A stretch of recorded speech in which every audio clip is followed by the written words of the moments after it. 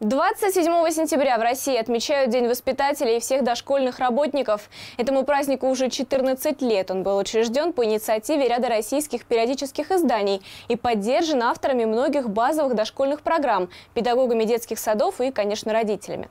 Идея праздника – обратить внимание общества на детский сад и на дошкольное детство в целом. Отмечу, что пока праздник официально не учрежден. Вот, смотрите, правильно сделали мы. Медведь больше, чем лисичка? Да.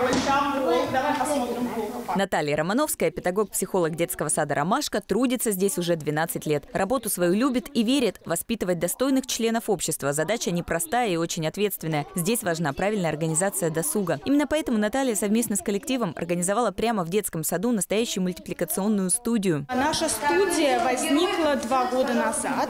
А, идея возникла следующим образом. Мы посчитали, что у нас дети смотрят мультики, ну, не всегда правильные, не всегда нужные. Мы решили, что мы тоже можем снимать мультфильмы, а, такие, которые несут добрые и вечные. Создание таких мультиков проходит несколько этапов. Сначала воспитатели вместе с детьми выбирают тему, потом создают декорации и лепят из пластилина героев. Сегодня, например, в студии «Калейдоскоп» кипит работа над созданием мультфильма «Пожар в лесу». Вот это у нас будет туловище. Делай голову. Следующий этап самый ответственный. Дети медленно двигают пластилиновых героев в нарисованных декорациях. Каждое такое передвижение фиксирует фотоаппарат. Разожгли в лесу костер. Кто у нас в кадре должен сначала появиться? Лиса. Лиса и волк. Да. Опа. Так, еще чуть-чуть двигаем.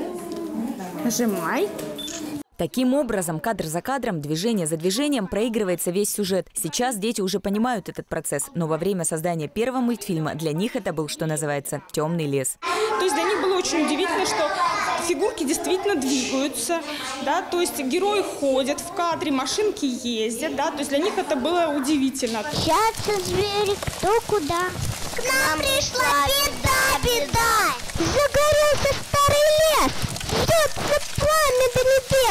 студии «Калейдоскоп» за время ее существования снято уже два мультфильма. Каждый вызвал неподдельный восторг у родителей и, конечно, у главных создателей и зрителей – самих детей. Я передвигала фигурки, а Паша фото- фотографировал.